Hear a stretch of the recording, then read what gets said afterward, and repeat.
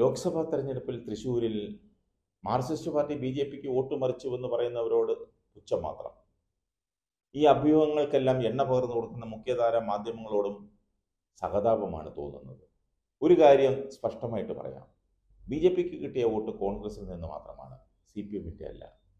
കോൺഗ്രസിലെ ഒരു പ്രബല വിഭാഗം ബോധപൂർവം നടത്തിയ വോട്ട് കച്ചവടമാണ് അവിടെ നടന്നത്. ആടിനെ പട്ടിയാക്കുന്നത് പോലെ അത് പലവട്ടം പറഞ്ഞ് മാർക്സിസ്റ്റ് പാർട്ടിയുടെ തലയിൽ കെട്ടിവെക്കുന്ന ഒരു ഇടപാടുണ്ടല്ലോ അത് കോൺഗ്രസ്സുകാർ അവസാനിപ്പിക്കണം. തോൽവി ഏറ്റുവാങ്ങിയ സി പി ഐയും ഈ പ്രചാരണത്തിനൊട്ടും പുറകിലല്ല. കോൺഗ്രസ് സ്ഥാനാർത്ഥി മൂന്ന് ലക്ഷത്തി ഇരുപത്തി എണ്ണായിരം വോട്ട് നേടിയപ്പോൾ സി പി ഐ സ്ഥാനാർത്ഥി വാങ്ങിയത് മൂന്ന് ലക്ഷത്തി മുപ്പത്തി ഏഴായിരം വോട്ടാണ്. വിജയിച്ച സുരേഷ് ഗോപിയാകട്ടെ നാല് ലക്ഷത്തി പന്തിരായിരം വോട്ട് നേടി. എന്നാൽ രണ്ടായിരത്തി പത്തൊമ്പതിൽ ഇത് നേരെ തിരിച്ചായിരുന്നു. കോൺഗ്രസ് സ്ഥാനാർത്ഥി നാല് ലക്ഷത്തി പതിനയ്യായിരം വോട്ട് നേടിയപ്പോൾ സി പി ഐ സ്ഥാനാർത്ഥി മൂന്ന് ലക്ഷത്തി ഇരുപത്തി ഓരായിരം വോട്ട് മാത്രമേ നേടിയുള്ളൂ. ബി ജെ പി സ്ഥാനാർത്ഥിയായ സുരേഷ് ഗോപിയാകട്ടെ അന്ന് രണ്ട് ലക്ഷത്തി തൊണ്ണൂറ്റി മൂവായിരം വോട്ട് നേടി. ഈ രണ്ട് തവണയും ഇടതുപക്ഷത്തിന്റെ സ്ഥാനാർത്ഥിയായി സി പി ഐ തന്നെയാണ് മത്സരിച്ചത്. രണ്ടായിരത്തി പത്തൊമ്പതിനേക്കാൾ പതിനാറായിരം വോട്ട് കൂടുതലാണ് സി പി ഐ സ്ഥാനാർത്ഥിക്ക് ഇപ്പോൾ കിട്ടിയത്. അങ്ങനെ വരുമ്പോൾ മാർക്സിസ്റ്റ് പാർട്ടി കാലുവാരിയെങ്കിൽ എങ്ങനെ ഈ പതിനാറായിരം വോട്ട് കൂടുതൽ ലഭിക്കും? കോൺഗ്രസിനാകട്ടെ രണ്ടായിരത്തി പത്തൊമ്പതിനേക്കാൾ എൺപത്തി ഏഴായിരം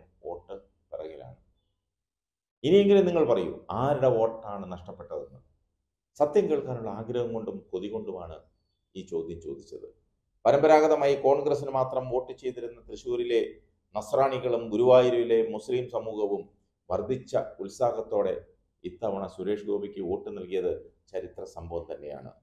കോൺഗ്രസ് വോട്ട് ചോർന്നത് മനഃപൂർവം മറച്ചു വെച്ചുകൊണ്ടാണ് ഈ നാട്ടിലെ മുഴുവൻ പത്രങ്ങളും സി പി എമ്മിനെ കുറ്റം പറയുന്നത്.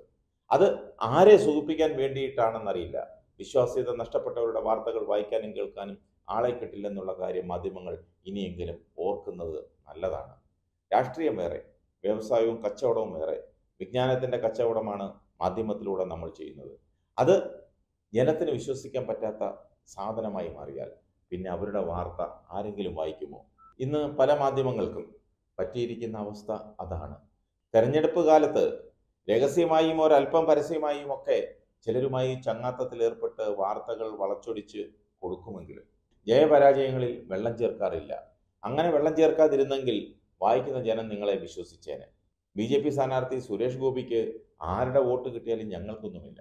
സുരേഷ് ഗോപിയെ വോട്ട് ചെയ്ത് ജയിപ്പിച്ച തൃശ്ശൂരുകാർക്കും ഒന്നും കിട്ടാനില്ല. പക്ഷേ സത്യം എന്നൊരു സാധനമുണ്ട്. അത് തുറന്നു പറയാനുള്ള ആർജവം കാണിക്കണം.